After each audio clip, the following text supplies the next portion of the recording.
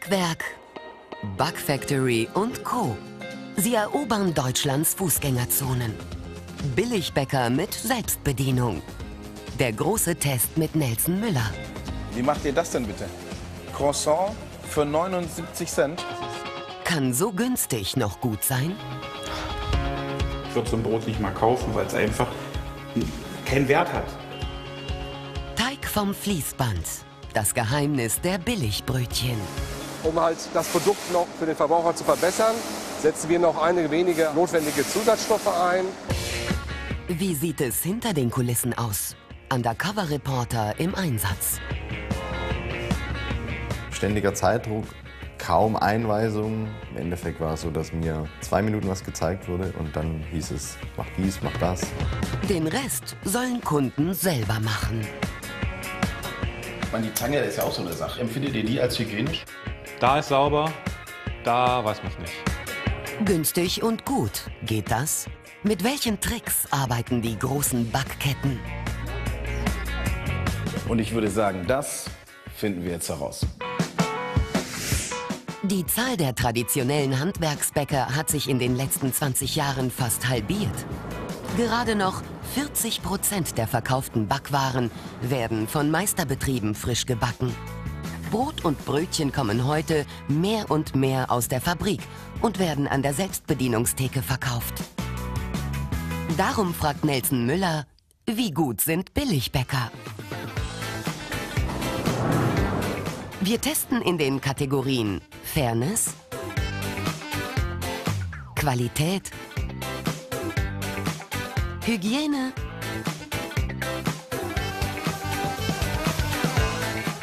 Geschmack und zuerst der Preis. Sorry, I'm late, oder was? Der Sternekoch hat seine Freunde zu einem besonderen Frühstück eingeladen. Nimm Platz.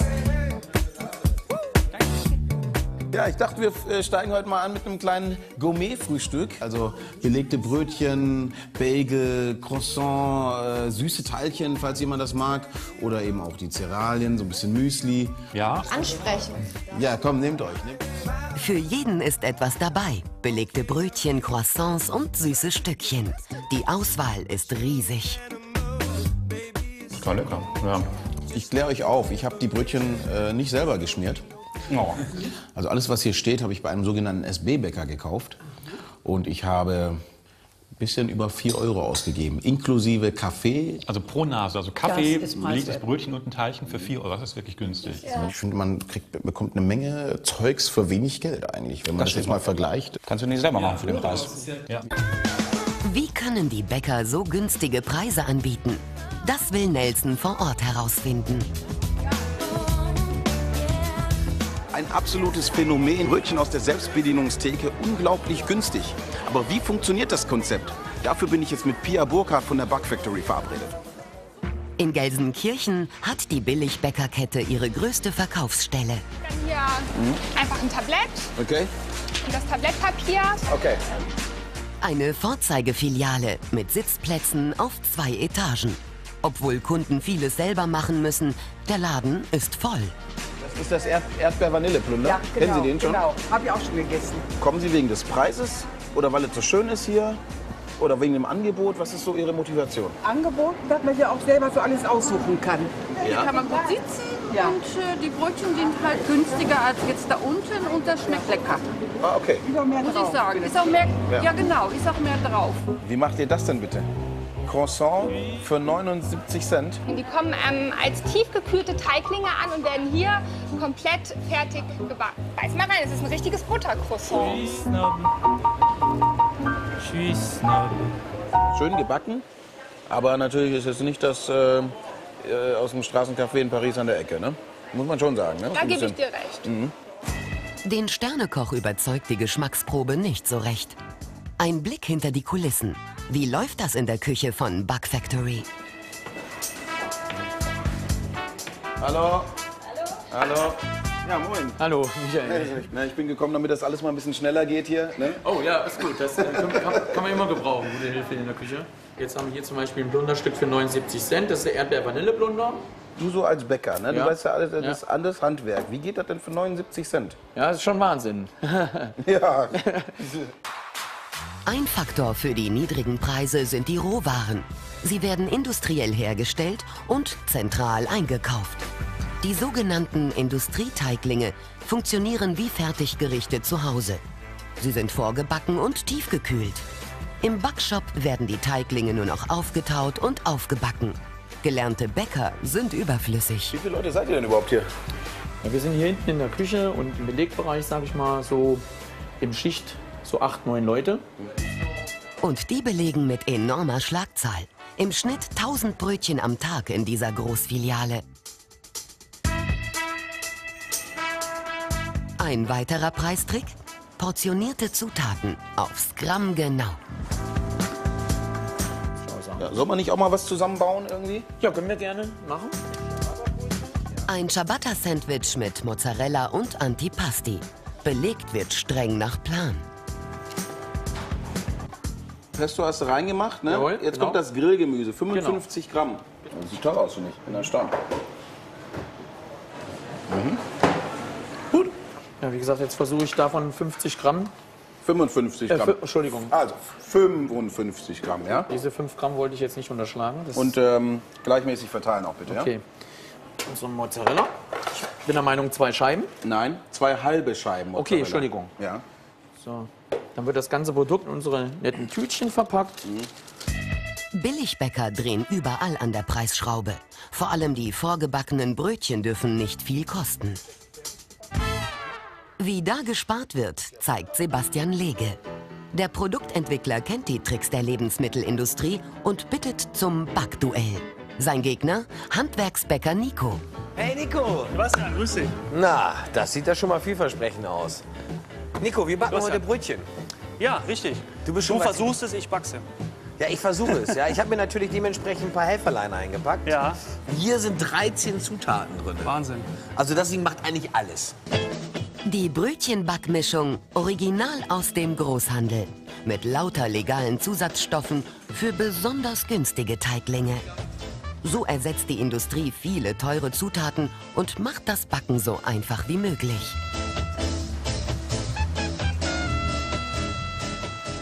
Und du meinst wirklich, deins ist so viel besser? Auf jeden Fall. 100 Prozent. Qualität braucht ihre Zeit und ihre guten Rohstoffe. Also ich bin von überzeugt, wir werden den Unterschied feststellen. Okay, dann würde ich sagen, machen wir den Teig und legen Ja. los. Ah, fangen wir mit Mehl an, oder? Sebastian benutzt Mehl mit Ascorbinsäure. Das beschleunigt die Reife. Dazu die Backmischung. Hier habe ich ja schon 13 Zutaten drin. Alles in einer Schale. Statt teurer Butter steckt Pflanzenfett im Billigbrötchen. Dazu frische Hefe. Und Enzyme helfen beim Aufgehen. Und zum Schluss Wasser, ha? Maybe I see you. Jetzt nur noch kneten lassen. Tja, äh, mein Teig laut Anleitung vier bis fünf Minuten. Zack. Nicht einmal fünf Minuten braucht das Industriebrötchen. Schnell entsteht das wichtige Klebergerüst im Teig. Das ist wichtig für die stabile Form. Na, was sagst du? Klebergerüst, wie du siehst, hast du aber trotz der kurzen Knetzeit hier. So macht es die Industrie. Jetzt der Handwerksbäcker. Los geht's. Mit dem super Bio-Brötchen, was meins hier angeblich schlagen soll. Da bin ich mal gespannt. Die Zutaten für das Handwerksbrötchen. Natürliches, unbehandeltes Mehl. Ein Vorteig, der die Brötchen aromatisch macht. Dazu kommt noch Butter, Gerstenmalz, Zucker, Hefe, Salz und eiskaltes Wasser. So, Und wie lange musst du da zu. jetzt rühren und kneten? wir werden jetzt ungefähr 15 Minuten in der Mischphase. Und dann kneten wir den Teig nochmal 4 Minuten. Alleine die Knetzeit ist beim Handwerksbrötchen viermal länger als beim Industrieteig. Tada! Siehst du das, wie schön glatt der geknetet ist? Gegen dieses Brötchen wirst du keine Chance haben. Ach, hör mal auf, ey. Sag mal. Jetzt muss der Handwerksteig erst einmal 30 Minuten ruhen. Dann nehmen wir mal hier unsere Brötchenplatte. Und so. Da kann Sebastian die Industriebrötchen schon ofenfertig machen. Dann erst den großen, dann den kleinen. Und drücken. So, da sind sie, die Jungs. Das sieht eher aus wie eine Kaulquappe, was ich hier gerade mache, aber okay. Zack. Ich glaube, bei deinem handwerklichen Können hier, was das Backen angeht, da hilft auch kein Backmittel. Die Industriebrötchen müssen nun für 30 Minuten in den Gärschrank. Oh, das dauert aber bei dir auch wieder alles, ne? Hör mal, das hätte doch schon alles fertig sein können. Was machst du denn jetzt mit deinem Brötchen? Die werden jetzt 24 Stunden in die Kühlung gestellt. Die Kühlung. Und Meine habe ich doch gerade in den Gärschrank gestellt. Ja, du willst ja auch deine Brötchen schnell machen. Du hast ja auch keine Zeit. Meine Güte. Da muss er zack, zack, zack. Fertig. 24 Stunden gegen 30 Minuten im Gärschrank. Ein gigantischer Zeitvorteil für die Industrie. Deswegen hat Nico schon mal was vorbereitet. Nach einem Tag in der Kühlung haben die Brötchen ein schönes Volumen bekommen. Guck mal, die erschrecken sich ja, wenn ich die fallen lasse. Ja. Die sind sensibel. Zack, Das guck mal. darfst du nicht machen. Genau dieses Brötchen werden wir nachher wiederfinden, weil es so flach sein wird. Echt? Ja.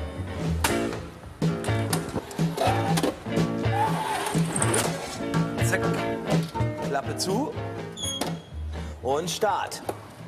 Zack. Beide Brötchen müssen jetzt für 20 bis 25 Minuten in den Ofen. Für Brötchen. Boah, Nico, guck doch mal an hier die Top-Teile. Und vor allen Dingen, was das für riesen Apparillos sind. Da kannst du richtig lange von essen. Surprise, surprise. Oh, herrlich. Ein Traum. Auf den ersten Blick sehen beide kross und lecker aus. Ich würde mal sagen, Top-Brötchen. Also, Die meinst du, oder? Geruch. Ich breche mal eins auf. Ja, obwohl das ist so ein bisschen Guck mal allein vom Boden. Siehst du das? Diese Farbe, die Struktur. Kann ich eins auch mal so aufbrechen? Ja. Oh ja, bricht ganz anders. Riech mal. Ja, ist auf alle Fälle, der Geruch ist auf alle Fälle total anders. Meine haben ein bisschen was am Pappkarton, finde ich. Betrachten wir nur die Zeit, gewinnt das Industriebrötchen unser Duell. Hier stehen zwei Stunden gegen 26. In Sachen Qualität gewinnt der Handwerksbäcker. Seine Brötchen sind schön aufgeplatzt und haben eine goldbraune Kruste. Bleibt das Preisduell. Und da hat das Industriebrötchen klar die Nase vorn. 10 Cent zu 50 Cent. Ich meint, klar. Hier schafft sogar so ein Laie wie ich, ein Brötchen zu backen. Der Nico, jahrelange Erfahrung, Zutaten ganz oben aus dem Regal gegriffen. Die Zeit ist das A und O bei Qualität und Geschmack. Teuer oder billig? Diese Entscheidung liegt beim Kunden. Und tatsächlich sterben die kleinen Handwerksbäcker mit eigener Backstube nach und nach aus. Den Markt beherrschen zurzeit große Filialbäcker, die neben der eigenen Backstube zahlreiche Verkaufsstellen haben. Aber sie bekommen massive Konkurrenz durch Billigbäcker. Billigbäcker kaufen die Backwaren tiefgefroren ein, backen in den Filialen nur noch auf und verkaufen meist per Selbstbedienung. Dazu zählen Franchise-Unternehmen, kleine einzelne Backshops, aber auch Supermärkte und Discounter. Brot und Brötchen aus der Selbstbedienungstheke machen mittlerweile 35 Prozent des Marktes aus. Tendenz steigend. Wer als Kunde vor allem auf den Preis schaut, kann ordentlich sparen. Welcher Bäcker aber ist der billigste? Nelson Müller geht in Gelsenkirchen einkaufen. Seine Referenz? Ein klassischer Bäcker. Das scheint hier ein kleiner lokaler Bäcker zu sein. Ich gehe mal einkaufen. Neben einer Auswahl Brötchen kauft Nelson verschiedene Sorten Croissants. Die Beratung ist noch wie früher. So, Croissant, Schokocroissant, Brötchen, Kürbiskernbrötchen, Laugenbrötchen für 4 Euro. Nicht schlecht. Weiter zu Filialbäcker Kamps, der Marktführer. Da war auch nicht was los bei Kams. Ich musste richtig warten. Aber jetzt habe ich alles. Für 4,06 Euro Croissants und Brötchen kauft Nelson nun auch beim Selbstbedienungsbäcker. So, auch hier wieder meine obligatorischen fünf Brötchen für sage und schreibe 2,95 Euro. Ich glaube, ich liege hier schon weit im unteren Bereich. Letzte Station, Discounter. So, dann schauen wir mal, ob die kleinere oder größere Brötchen backen. Die Überraschung. Discounter Lidl ist in unserem Test mit 2,05 Euro der günstigste und unterbietet damit preislich Bug Factory. Der lokale Bäcker und der Filialbäcker Kams liegen fast gleich auf, mit etwa 4 Euro und sind somit beide um mehr als einen Euro teurer als Bug Factory. Die Backketten sind vor allem eins, effizient. Sie produzieren riesige Stückzahlen, sie setzen auf günstige, vorgebackene Teiglinge und vor allem, sie sparen am Personal. Weil wir uns selbst bedienen, fallen die Preise. Auf den ersten Blick super. Weil Discounter doch noch billiger sind, ziehen wir einen Stern ab. Bleiben vier für die Billigbäcker. Gehen die günstigen Preise auf Kosten des Personals? Als nächstes testen wir die Fairness. Ich meine, also Mehl, Salz, Zucker, was noch so rein muss, das kostet ja alles fast nichts mehr. Was kostet, sind die Lohnkosten. Dass du Leute bezahlst, die backen, die drapieren und so weiter. Und wenn man das senkt bis zum geht nicht mehr, wenn man so viele Leute wie möglich rausholt aus dem Prozess, kannst du es halt sehr viel günstiger anbieten. Wenn man sich das alles reinzieht und die ganzen Fakten mal, dann ist das schon ziemlich preiswert. Kann es denn dann überhaupt äh, mit fairen Dingen zugehen? Ich gehe davon aus, dass einfach sehr viel weniger Leute in diesen Firmen arbeiten und dass die auch nicht wahnsinnig gut bezahlt werden. Gerade in den kleinen Filialen müssen die Mitarbeiter alles machen. Kassieren, Brote schmieren, putzen. Insider berichten von Hygienemängeln und überlasteten Angestellten. Um das zu überprüfen, schicken wir einen Undercover-Reporter in drei Filialen des Marktführers Backwerk. Wir wollen mehr über Sauberkeit, Löhne und Arbeitszeiten bei Billigbäckern herausfinden. Unser Reporter vereinbart zunächst einen Probetag, aber schon da geht es richtig zur Sache. 5 Uhr Schichtbeginn. Aufbacken, belegen und einräumen. Einarbeiten ist nicht.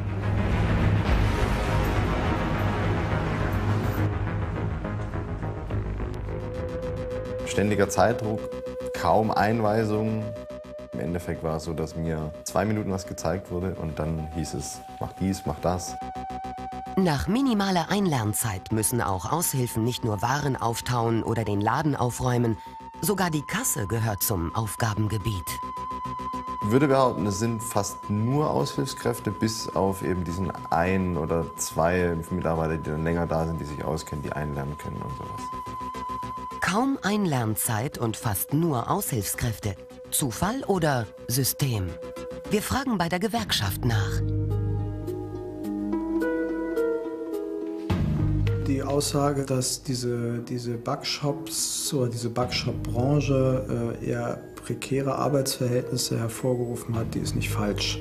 Die gilt natürlich nicht pauschal für alle, aber der überwiegende Teil der Beschäftigungsverhältnisse sind im prekären Bereich äh, angesiedelt, Teilzeit, befristet, Niedriglohn, äh, das kann man schon sagen. Nach unseren Recherchen zahlen alle Backshops den gesetzlichen Mindestlohn von 8,50 Euro. Das Problem sind die Arbeitszeiten. Unser Reporter arbeitet mittlerweile seit sechs Stunden und konnte noch keine richtige Pause machen. Das scheint System zu haben. Generell war es so, dass es in der Zeit, in der ich in den Filialen war, gar keine Pausen gab und von keinem irgendwie vorgegeben oder irgendwie thematisiert. Gab so ein, so ein Verständnis, dass jeder mal so in einer Zeit, in der nicht viel los ist, sich was zu essen nehmen darf, vielleicht sich einen Kaffee macht. Andere Mitarbeiter aus den untersuchten Filialen bestätigen, die Pausen sind zu kurz, werden nicht am Stück gemacht oder entfallen ganz. Dabei ist eine halbe Stunde Pause gesetzlich vorgeschrieben. Wir bitten Backwerk um eine Stellungnahme. Mehrfach verweist die Backkette auf die Unabhängigkeit der einzelnen Filialen. Der Mutterkonzern nehme zwar Einweisungen und regelmäßige Kontrollen zu Arbeitsschutz- und Hygienevorschriften vor, die Verantwortung für die Verhältnisse in den einzelnen Shops weist Backwerk aber von sich. Die von uns festgestellten Mängel will man zeitnah beheben. Tatsächlich sind die Betreiber der Filialen in der Verantwortung, denn Backwerk, Backfactory und Co. betreiben ihre Marken als sogenanntes Franchise. Die Shops werden per Lizenz an Einzelunternehmer vergeben. Dazu braucht man zum Beispiel bei Backwerk ein Startkapital von rund 35.000 Euro. Ausstattung und Einrichtung muss ebenfalls übernommen werden. Hinzu kommt je nach Kette eine monatliche Abgabe von 4,5 bis 5,5 Prozent des Nettogewinns. Auf den Franchise-Nehmern lastet allzu oft ein immenser Kostendruck. Also Franchise ist nicht generell problematisch. Aber da entstehen zusätzlich Kosten und die müssen erwirtschaftet werden. Und leider Gottes, so erleben wir das ganz oft, äh, führt das dazu, dass dieser zusätzliche Kostendruck an die Beschäftigten weitergegeben wird. Geringe Löhne und hoher Zeitdruck. Die Schattenseite der Billigbäcker.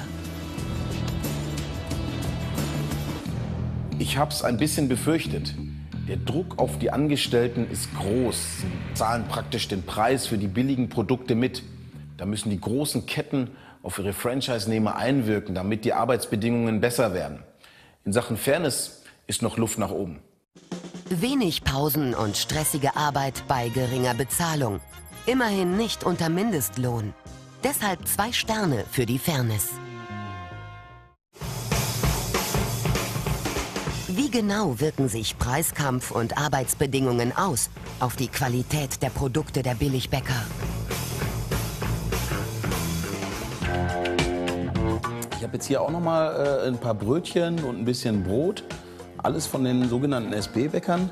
Was ist das für eine Qualität? Also ich muss sagen, besser als erwartet. Ich hätte jetzt gedacht, dass es von innen hohler ist. Ja, die würde ich noch mal aufbacken, dann sind die spitze.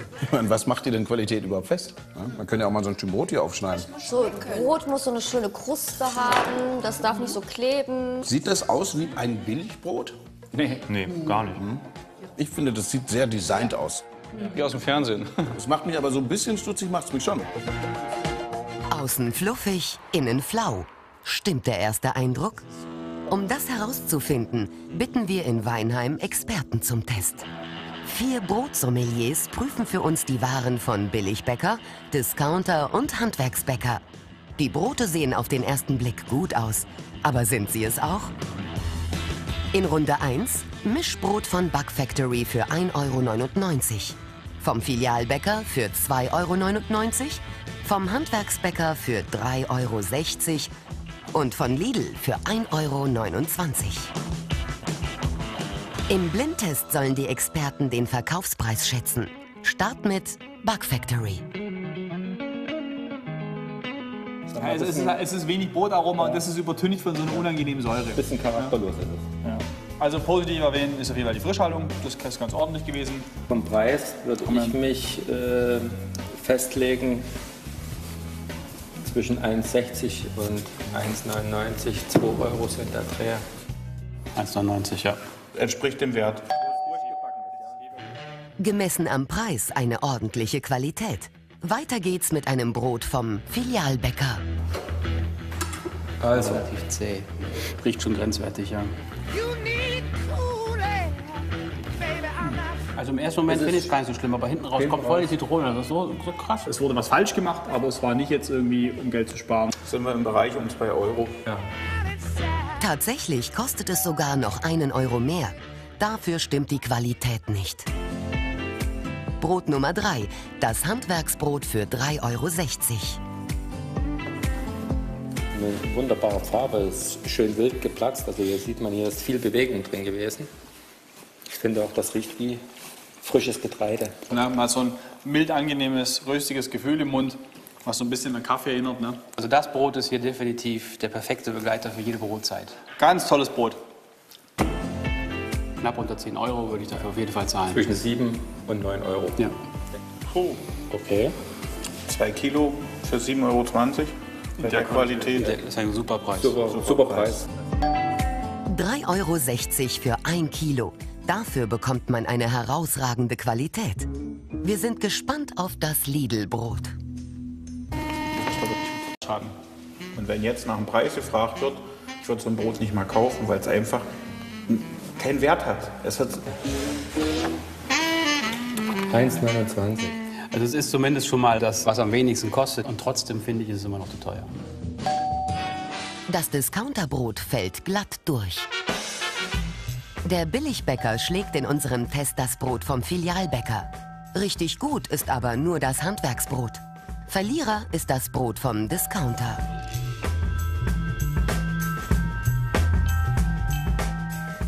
Gute Qualität kann man beim Einkaufen leicht selbst erkennen. Die unregelmäßige Kruste und ein deutlicher Farbverlauf von dunkel zu einer hellen Mitte deuten auf ein gutes Mischbrot hin. Im Vergleich dazu ist das Billigbrot blass und einfarbig.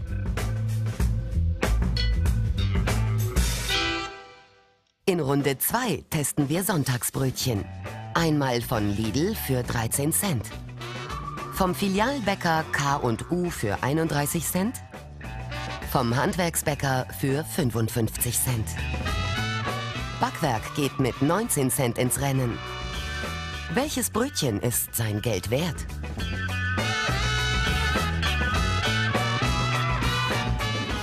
Wieder wissen die Brotsommeliers nicht, von welchem Bäcker welches Brötchen stammt. Los geht's mit dem Billigbrötchen von Lidl für 13 Cent. Wenig malzig. Der Duft lässt sich morgens nicht aufstehen, also das ist sicher. Geschmack hat das Brötchen überhaupt keinen. Könntest auch sagen, du machst 250 Gramm Leberkäse rein und das Ding dient dazu, dass die Finger nicht fertig werden. Von Lidl fällt auch das Brötchen durch. Nummer 2 kommt vom Filialbäcker. Schöne, schöne Bläschen und ein schönes Farbenspiel. Leicht malzig. Ja. Mhm. Wirklich ein angenehmer Brötchengeruch. Aromatisch, ja. Man hat es gerade noch gehört. Also ist jetzt schon noch knackig. Gemacht. Was sagen die Experten zum Brötchen vom Handwerksbäcker?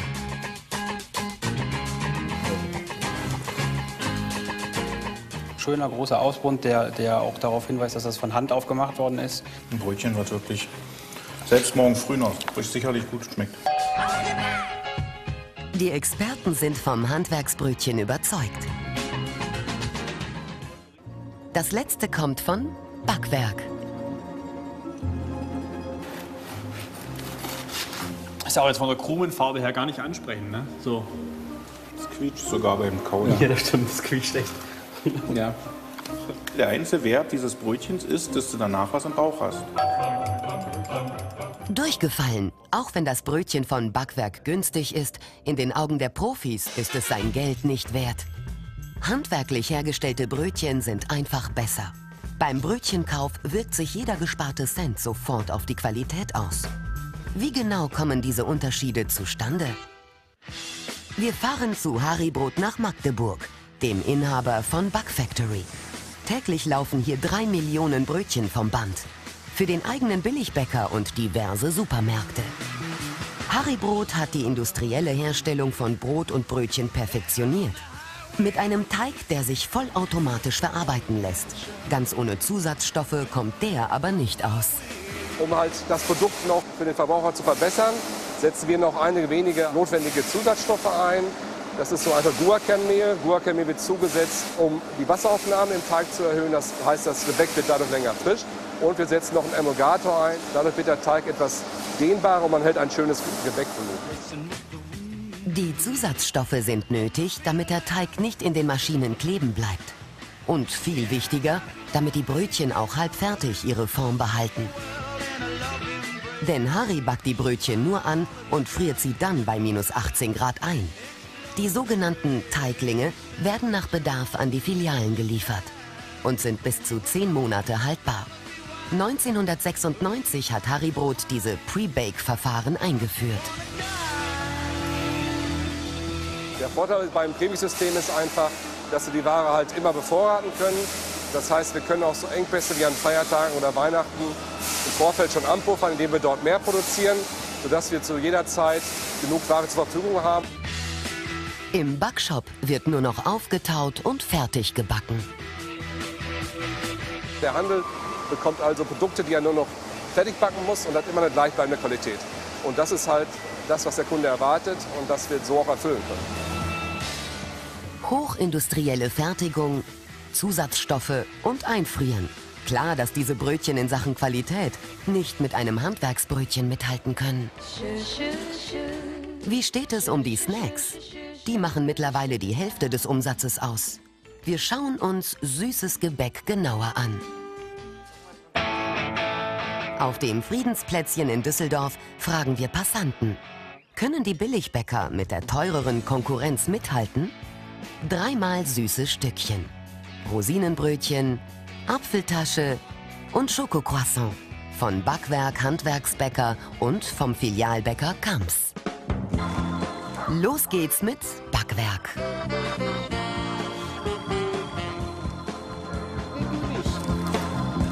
Mm, Das schmeckt gut, das ist schön weich. Also die war schon mal relativ saftig. Apfel schmecke ich jetzt nicht so viel raus. Zu trocken. Süße Stückchen, die zweite. Vom Handwerksbäcker. Oh, das fühlt sich schon ganz trocken an. Hier ist auf jeden Fall viel mehr Apfel drin. Schmeckt schon besser. Das ist hier etwas feuchter, es ist nicht ganz so trocken. Das ist lecker. Mmh, das schmeckt gut. Körbchen Nummer drei kommt von Kamps. Das sieht sehr lecker aus. Schwierig, ne? Also hier ist am meisten Apfel drin. Ist auf jeden Fall schon saftig. Aber wäre mir jetzt insgesamt zu süß. Alles lecker. Können die süßen Stückchen vom Billigbäcker bestehen? Gegen die teurere Konkurrenz? Mir hat das erste am besten geschmeckt, weil es schön weich war, so richtig frisch. Die Nummer zwei. Ich würde sagen drei. Eins, zwei. Würde ich jetzt auch sagen. Bei mir war es die Nummer eins. Die war saftig für meine Begriffe und das hat am meisten nach Apfel echt geschmeckt. Deswegen würde ich mich auch für eins entscheiden. Zwei und drei, meine Wenigkeit. Zwei ist für mich die beste. Die Nummer zwei schmeckt mir am besten. Ich würde sagen die Nummer drei. Zwei. Drei. Also fantastisch. Der Handwerksbäcker ist vorne. Als einziger fertigt er die süßen Stückchen in aufwendiger Handarbeit. Dahinter kann Backwerk den teureren Filialbäcker sogar knapp schlagen. Trotz Preisunterschied bieten beide ordentliche Qualität. Wenn wir von Qualität sprechen, dann können die Selbstbedienungsbäcker mit den anderen Ketten mithalten. Die nehmen sich da nicht viel. Den großen Unterschied gibt es dann allerdings im Vergleich zu den Handwerksbäckern. Die liefern noch mal eine ganz andere Qualität. Die Qualität der Billigbäcker ist gut. Wir ziehen einen Stern für die aufgeblasenen Brötchen ab. Alles in allem stehen die Billigbäcker bisher nicht schlecht da. Aber wie sieht es bei der Hygiene aus? Ich meine, jetzt habe ich hier mal so ein Tablett. Stellt man sich mal vor, dass man mit diesem Tablett da durch diesen SB-Bäcker geht. Was geht euch da so durch den Kopf? Also ich denke immer, wer weiß, wer seine Finger schon überall da dran hatte. Ich meine, die Zange ist ja auch so eine Sache. Ne? Dann ist sie da in so einem Gefäß drin irgendwie. Ne? Empfindet ihr die als hygienisch? Da ist sauber, da weiß man es nicht. Aber das wird ja schon immer hier gewechselt, ne? Aber nur das. Ich mache mir da ehrlich gesagt aber nicht so den großen Kopf drum. Ich glaube, die allermeisten Leute benutzen wirklich so eine Zange. Wie ist es um die Hygiene in den Backshops bestellt? Zunächst beobachten wir über mehrere Tage die Ausgabe verschiedener Billigbäcker. Aber tatsächlich fällt uns niemand auf, der direkt in die Auslage greift.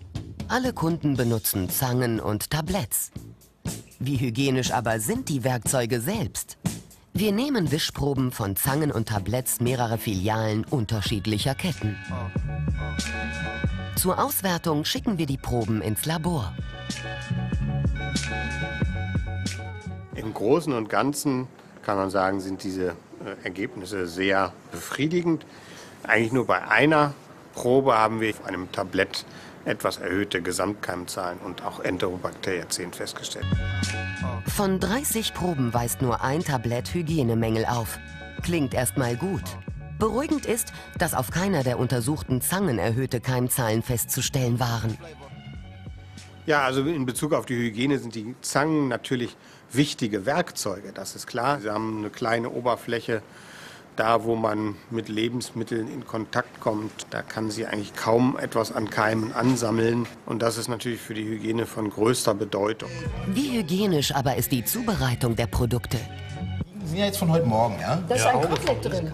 Ja. Ein Schnitzel. Ein Schnitzel. Auch blass. blass Wie, wie, wie empfindet ihr die? Also ich meine, Das sieht ja einigermaßen frisch aus. wie findet ihr den Salat jetzt hier? Der ist schon ein bisschen oll, ne? Also diese Brötchen an sich sind ja jetzt nicht gesundheitsschädlich, aber man hört ja schon immer mal wieder, dass es Hygieneprobleme gibt. Könnte ich mir vorstellen, ja. Wie es hinter der Theke aussieht, wollen wir mit unserem Undercover-Reporter herausfinden. In einer der getesteten Filialen erlebt er eine unangenehme Überraschung. Ich war, glaube ich, zwei oder drei Stunden dann da, musste ich Brötchen belegen, nachdem ich ähm, den Boden sauber gemacht habe, die Tische gewischt habe. Also meine Hände waren definitiv dreckig. Ich hatte sie davor nie gewaschen, ich habe sie nicht desinfiziert, gar nichts. So, dass ich das erste Mal nachgefragt habe, hm, vielleicht ein Handschuh oder Hände waschen, noch nicht wichtig. Hm. Handschuhe kosten nur Geld ähm, und dafür haben wir eh keine Zeit, weil wir müssen ja schnell noch die Brötchen belegen. Also ich würde nach dem Vorfall auf gar keinen Fall ein belegtes Brötchen in dieser Filiale kaufen, definitiv nicht. Auch mit diesem Vorfall konfrontieren wir Backwerk. Der SB-Bäcker verweist auf interne Regeln und Vorgaben der Berufsgenossenschaft. Es wird empfohlen, auf Handschuhe zu verzichten, zum Schutz der Haut. Stattdessen sind die Hände zu reinigen und zu desinfizieren, nicht nur nach Toilettengängen, sondern auch nach jedem unreinen Arbeitsvorgang. Doch der Haken kommt. Ob das auch so gemacht wird, dafür seien die Franchise-Nehmer der einzelnen Filialen verantwortlich. Mangelnde Handhygiene, keine Handschuhe. Grund genug für uns, groß einzukaufen. In verschiedenen Backshops kaufen wir Dutzende belegte Brötchen. Sind die Hygienemängel ein Einzelfall oder haben sie System? Sind sie gar gesundheitsgefährdend? Im Labor lassen wir die belegten Brötchen auf Gesamtkeimzahl und Enterobakterien untersuchen, mit beruhigendem Ergebnis. Insgesamt kann man sagen, waren die Ergebnisse sehr erfreulich. In einem Fall wurden in einer ersten Untersuchung zwei Produkte gefunden, die ähm, erhöhte Gesamtkeimzahlen und erhöhte Enterobakteriazien aufgewiesen haben. Wir überprüfen die betroffene Filiale erneut, um herauszufinden, ob dort ein grundsätzliches Hygieneproblem vorliegt.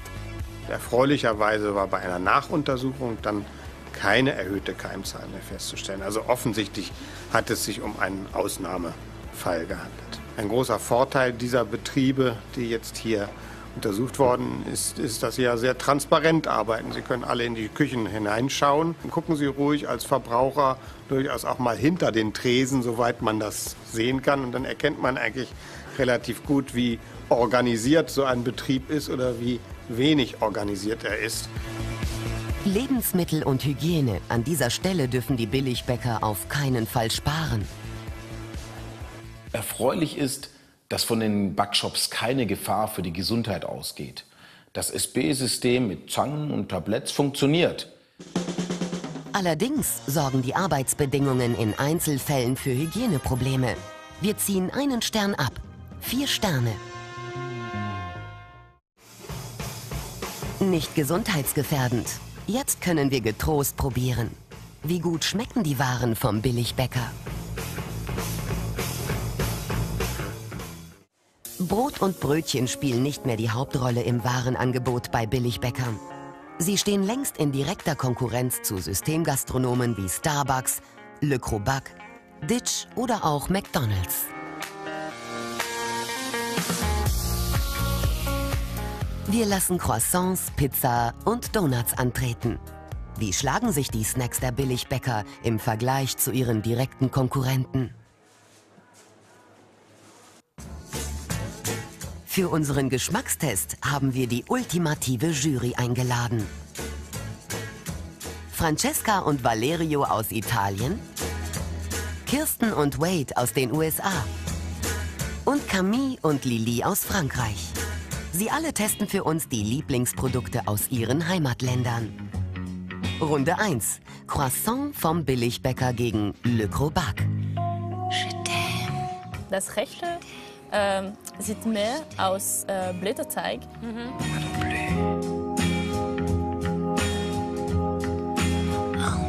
Es gibt einen Geschmack von Croissant, ja. Es ist gut?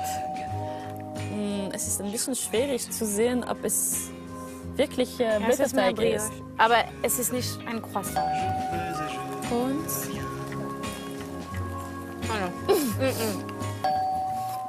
Was ist das? Das ging nach hinten los für den Billigbäcker.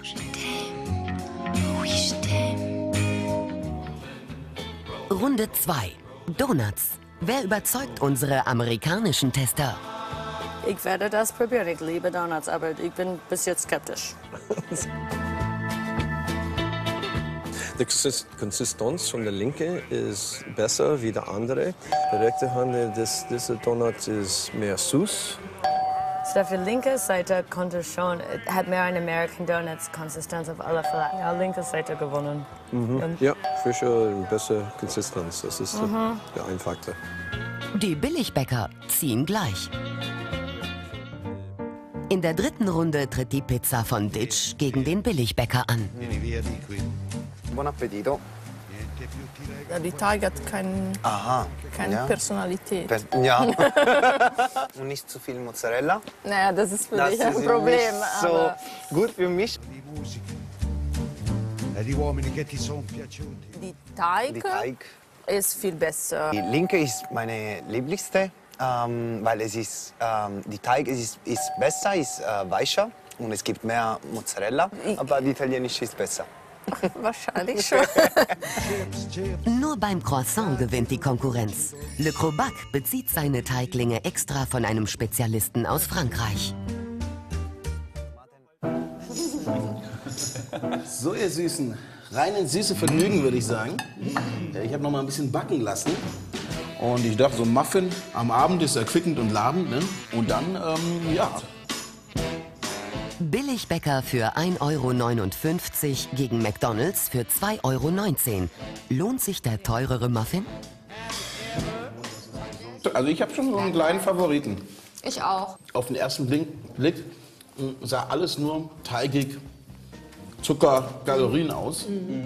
Aber ich mache hier wirkliche Qualitätsunterschiede aus. Definitiv, ja. Ja. Was sagt ihr denn zum gelben Muffin? Ja, der war von innen schön fluffig, der hat sogar mir geschmeckt. Also das hier ist mein Liebling auch, genauso wie beim Phil, weil ich finde ihn so schön saftig von innen. Also mein Favorit ist ganz klar der blaue. Einfach weil er ist halt irgendwie saftig und ähm, auch ganz nett gemacht. Äh, Blau ist mein Favorite. Da habe ich auch gesagt, das ist Fast Food, weil die es am besten können. Es kommt ja aus Amerika. Der Einzeltest unterstreicht unseren Gesamteindruck.